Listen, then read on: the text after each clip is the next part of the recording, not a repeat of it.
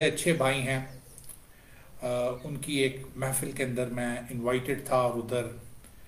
आप कह लो कि जैसे पाकिस्तान के अंदर है कि जो हमारी जो मेजर तीन पॉलिटिकल पार्टीज़ हैं वो तीनों के मेरे दोस्त वहाँ मौजूद थे।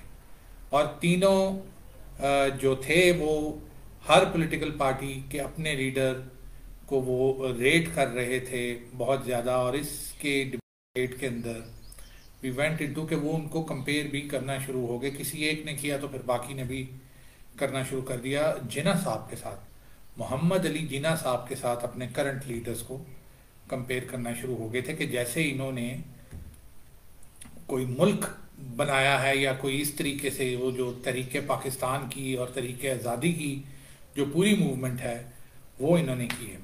खैर एनीवेज आपको पता है कि सारियाज का कोई किसी पॉलिटिकल पार्टी से कोई ताल्लुक नहीं है। मैं पर्सनली अपना वोट देता था और शायद दोबारा इलेक्शन होंगे तो दोबारा भी दूँगा but I was very disappointed this time तो अब पता नहीं कि आगे अगर लगेगा कि किसको वोट देना है। But again that is my personal opinion anyways तो the topic today is Jinnah sahab. आपको हमने बताना है कि मोहम्मद अली जिना साहब से कोई खुदा का आप खौफ खाएँ।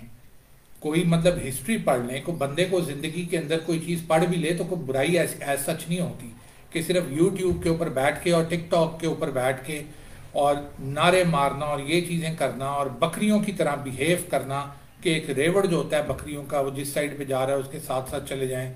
ये कोई मतलब ज़िंदगी की कोई अचीवमेंट नहीं है इसके अंदर कि आप इस तरीके से ही करते रहें। कोई किसी किस्म की हिस्ट्री को आप ना पढ़ें, किसी किस्म की नॉलेज आप उस तरीके से अपनी पर्सनैलिटी को ग्रूम करने के लिए, अपने माइंड को मच्योर करने के लिए आप नहा लें तो ये कोई बहुत बड़ा कारनामा नहीं है। तो मैं आपसे सबसे पहले रिक्वेस्ट करूँगा कि खुदा के वास्ते कोई चीज़ पढ़ लिया करें। अगर आपको लगता है कि कोई हिस्ट्री कोई सही तरीके से डिफाइन नहीं हुई तो आप किसी न्यूट्रल ऑब्जर्वर का पढ़ लें, लेकिन कोशिश करें कि कुछ पढ़ लिया करें। क्योंकि मुझे ये सवाल ही अजीब लगता है, ये टॉपिक अजीब लगता है कि हम इस चीज़ का जवाब दे रहे हैं कि आजकल लोग अपने लीडर्स को जिना साहब के साथ मिला रहे हैं। एनीवेज मेरा मकसद आप लोगों को इधर ये इस तरीके से करके तो छेड़ देते हैं तो बंदे को थोड़ा सा उसमें गुस्सा आ जाता है कि साफ़ ज़ाहिर है प्रॉपर जगहों से आप पढ़े हैं प्रॉपर तरीके से आपने जो है, अभी मैं आपसे अमेरिकन हिस्ट्री या ब्रिटिश हिस्ट्री या फलां के बारे में पूछूँगा, ये पूछूँ कि न्यूयॉर्क के अंदर स्ट्रीट्स कितनी है तो ऐसे आप फर फर जवाब देंगे। तो इसलिए थोड़ा सा मैं गुस्सा कर जाता हूँ, लेकिन आप नाराज़ ना हो इस चीज़ के ऊपर। Now coming towards the topic और जल्दी से मैं आपसे ये बात करूँगा, क्योंकि ज़रा गुस्सा मुझे इस मामले के ऊपर ज़्यादा चढ़ जाता है अक्सर। तो इसके अंदर सबसे पहले तो ये है कि आप ये देखें कि मोहम्मद अली जिना साहब जब 1915 के अंदर जब वो वापस आते हैं तो उस वक्त वो कांग्रेस के अंदर आते हैं, और जैसे कि एक ही सिंगल पार्टी होती है पूरे इंडिया के अंदर, कांग्रेस और उसी में मुसलमान है, उसी में सिख हैं, उसी में हिंदू महासभा है उसी में सब लोग हैं, उसी में जैन हैं, उसी में सारी चीज़ें हैं, उसी में कॉम्युनिस्ट हैं तो वो भी उसके अंदर ब्रिटिश एम्पायर के खिलाफ जो तरीके आज़ादी सब कॉन्टिनेंट की है, उसके अंदर वो एफर्ट्स अपनी जो मैक्सिमम एफर्ट्स हो सकती हैं, वो पुट करना शुरू कर देते हैं।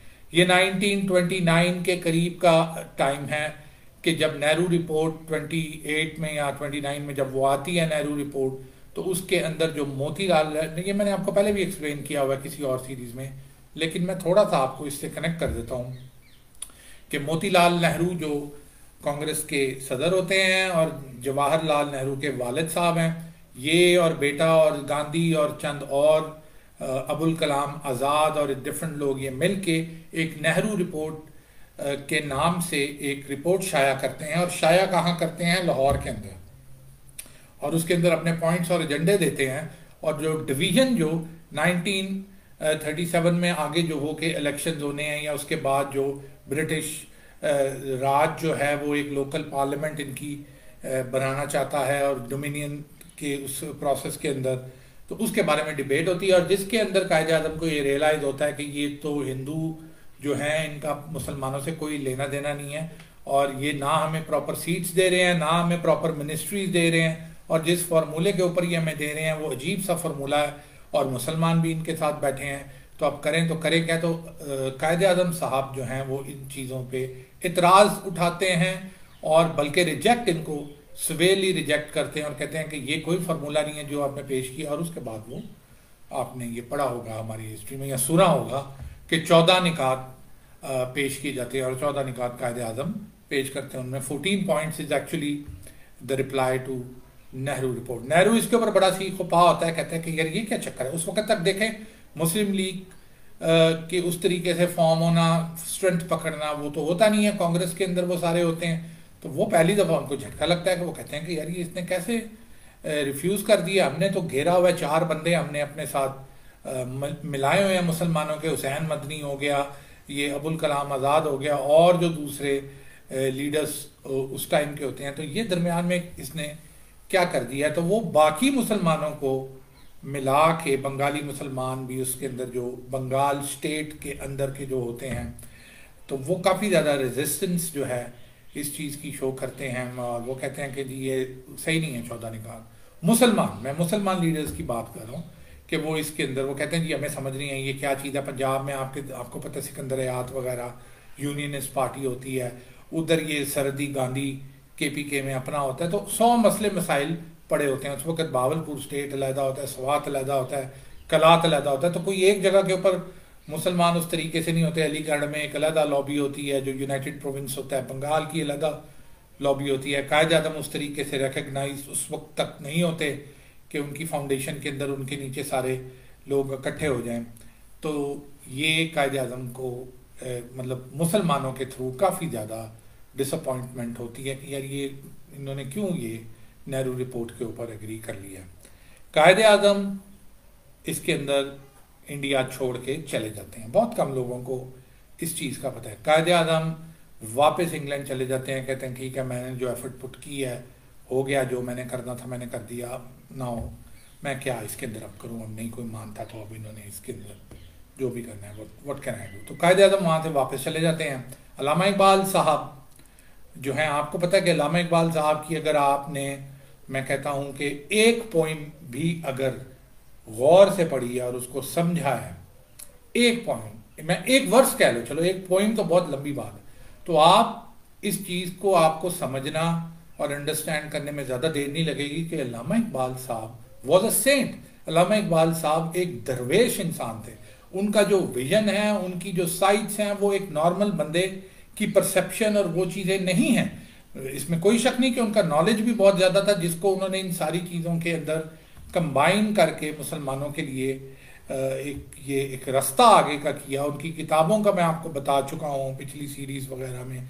किस तरह सीक्वेंस में बांगे, दिरा मार्शिंग बेल बाले जिब्राइल, हज़रत जिब्राइल के पर, यानी परवाज, उसके बाद ज़रब कलीम का कल अभी मैंने आपको बताया है कि असा मार के नील को दौरा दरिया खोल देना, रास्ता निकाल देना, दौरे हाजिर से जंग जंग का ऐलान, उसके बाद अरब मगाने, Hijaz end of the times की जो हमारी वो।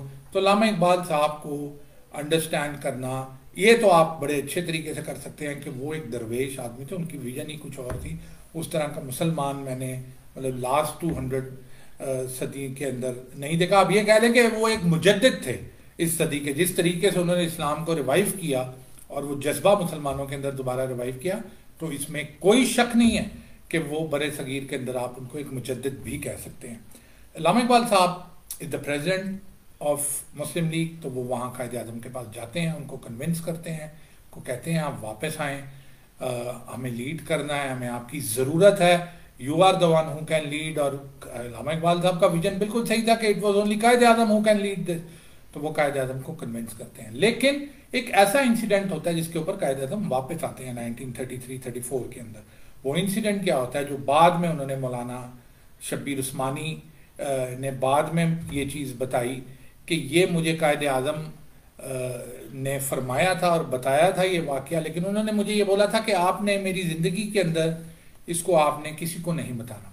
तो अब क्योंकि वो वफात पा चुके हैं तो मैं उनके बारे में आपको बताता हूँ कि कायद अजम मैं उसको आपको समराइज करके बता रहा हूँ कि कायद अजम कहते हैं कि जी, मैं एक दिन अपने गार्डन में था, बाग में था, मुझे एक बड़ी डिफरेंट सी खुशबू आई बड़ी ही खूबसूरत किस्म की खुशबू आई और मुझे समझ नहीं आई कि ये खुशबू किस चीज़ की है।